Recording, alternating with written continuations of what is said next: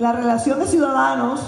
que según las bases de datos no tienen correspondencia con el municipio en el cual manifestaron residir, será evaluada. Nosotros vamos a enviarle esto inmediatamente al Consejo Nacional Electoral para que de acuerdo con su competencia y lógicamente siguiendo el debido proceso,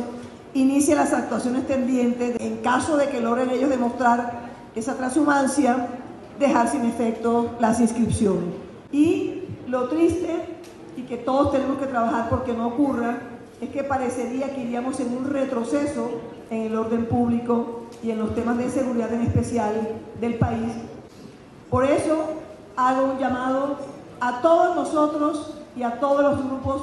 especiales de destinatarios de garantizar este proceso electoral, como son el señor presidente de la República, el señor ministro del Interior, gobernadores y alcaldes y a la fuerza pública en su integridad. Ellos son constitucionalmente los encargados de esta seguridad